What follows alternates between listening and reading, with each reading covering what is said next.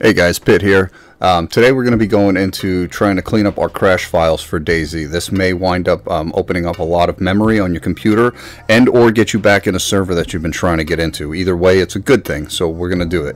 Um, first thing we're going to do is we're going to open our uh, local C and I'm going to go to my users, now my name, and this is, you know, basically what I play on all the time, so I want to view hidden items and you can see app data just appeared. So I'm going to double click app data and I'm going to click on local. In local, you will find yourself a DayZ folder right here. What I usually do is I will right click and create a shortcut to DayZ folder and I put it on my desktop. The reason for that is when you open your DayZ folder, you're going to find these guys crash folders. Every time you're joining a server, leaving a server, any any kind of custom server, if it crashes, DayZ likes to keep a memory of it in this folder, and this fills up a ton of space in your hard drive. Um, what I would do is normally once every two or three days, I'll click this folder, I'll check this, and I will left click, shift left click, and I'll delete these folders.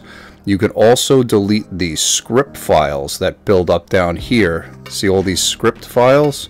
So I'm going to go to the top script file, scroll down, and to this script file.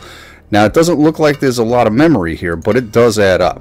So we're going to delete that. So I deleted my local crash and script files. Now to make sure that this is all working properly, what you want to do now is you want to click this little arrow down here on the right. You want to right click Steam and exit Steam. And then you want to make sure this closes itself out completely. And then you want to right click and empty your recycle bin. 53 items cleared.